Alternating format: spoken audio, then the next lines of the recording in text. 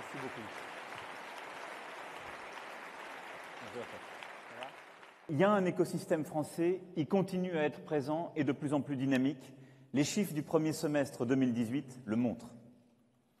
Qu'il s'agisse de création de start-up, qu'il s'agisse de levée de fonds, en montant comme en nombre, on est à des chiffres qui sont entre 40 et 60 d'augmentation. Je ne vais pas vous créer des dispositifs d'incitation, on a juste simplifié la fiscalité.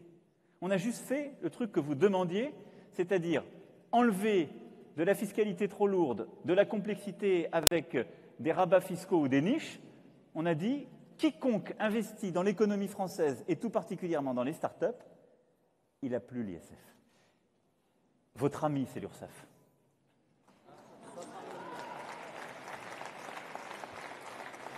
Je vais vous dire, votre ami, c'est l'URSSAF parce que c'est ce qui fait qu'en France, contrairement aux États-Unis, à l'Inde ou à beaucoup d'autres pays qui peuvent être fascinants de prime abord quand on parle de levée de fonds ou autre, le jour où vous êtes malade, le jour où vous êtes au chômage, le jour où vous êtes vieux, ben c'est grâce à l'URSSAF qu'on peut vous payer et que vous payez parfois zéro dans beaucoup de ces situations. Merci beaucoup. Hein.